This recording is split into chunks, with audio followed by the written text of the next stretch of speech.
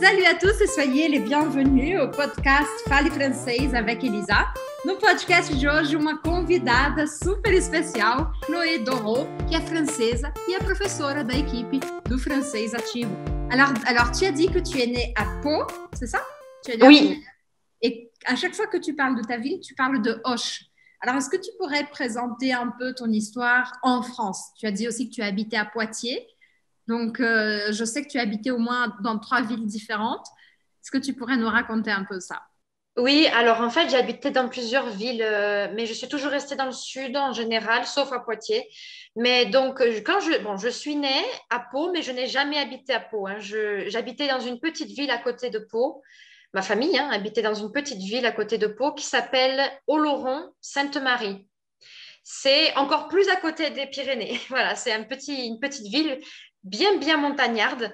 Et euh, on est resté longtemps à Oloron-Sainte-Marie. Je pense qu'on est resté jusqu'à ce que je rentre au collège. Donc, euh, on est resté très longtemps dans cette ville. Puis, pour le collège, nous avons déménagé à Auch. Et donc, j'ai fait mes années collège et lycée.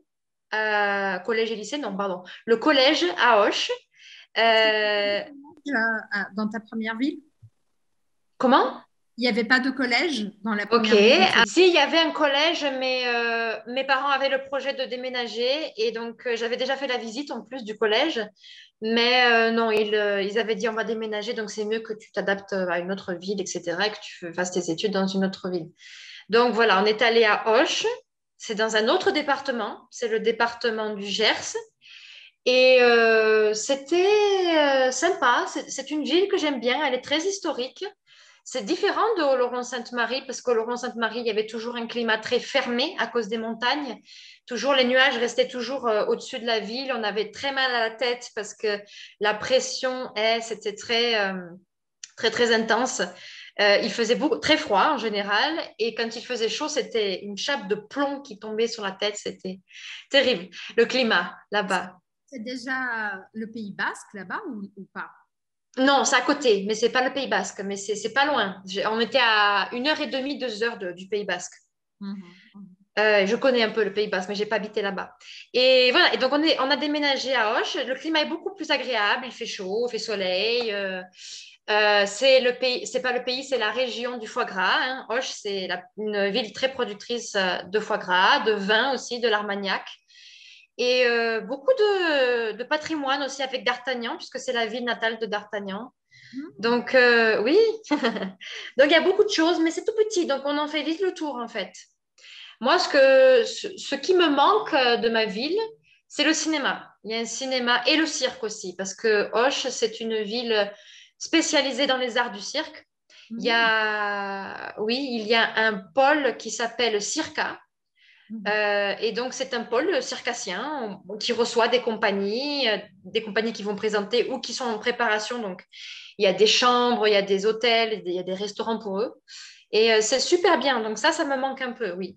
Parce que je pense que c'est pas vraiment une tradition, le cirque au Brésil. Même s'il y a le cirque du soleil, euh, je sais pas, je connais, je sais qu'il y a du, je sais qu'il y a des compagnies de cirque à São Paulo, mais une ville spécialisée dans les arts du cirque, je sais pas ça existe au Brésil.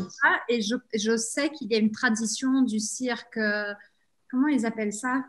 Euh, J'ai oublié. J'ai d'ailleurs une amie que je, je demanderai de faire un podcast avec elle. C'est une Brésilienne qui s'appelle Renata et qui est partie euh, faire, euh, faire sa vie dans le cirque en France.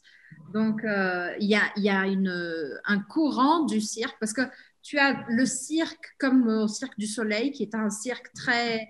euh, qui, qui priorise vraiment euh, les grandes acrobaties, les grands mouvements comme ça. Mais le cirque français, c'est un cirque euh, beaucoup plus de la scène du cirque, qui se rapproche un peu plus de la danse ou du théâtre, souvent.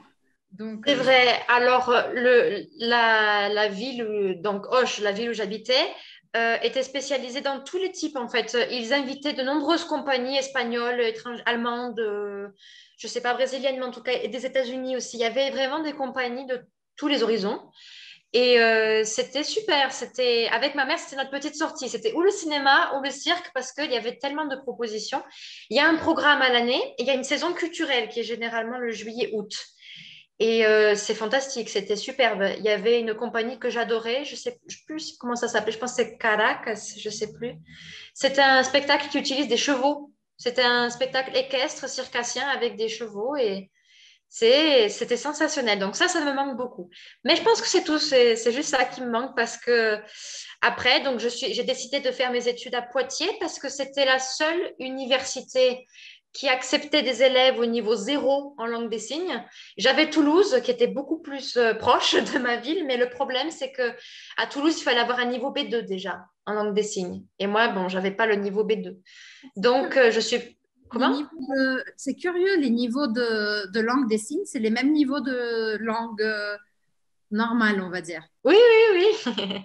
c'est les mêmes. C'est une langue en fait, hein, donc euh, ça fonctionne comme les langues pour Ceux qui ne savent pas, A1, A2, B1, B2, je ne savais pas du tout.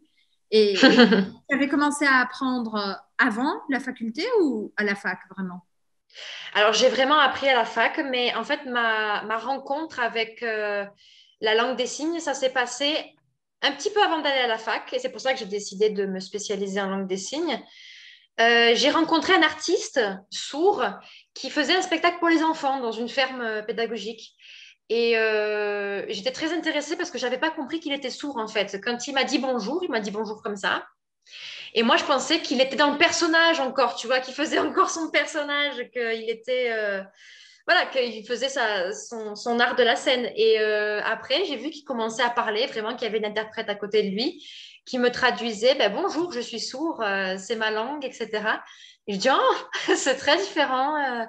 Et j'ai commencé à avoir plusieurs spectacles et, ça, a, commencé à, stimuler quelque chose chez moi de, très intense. Voilà, je ne sais pas pourquoi, mais euh, j'ai une relation très étroite avec la langue des signes, même si j'ai personne dans la famille qui est sourd et personne ne connaît n'est renseigné sur ça, hein, sur la surdité. Mais j'ai adoré. Et je suis passionnée par le théâtre et la langue des signes. Je pense qu'il y, a vraiment une grande relation entre les deux. Et j'aime beaucoup ça. voilà.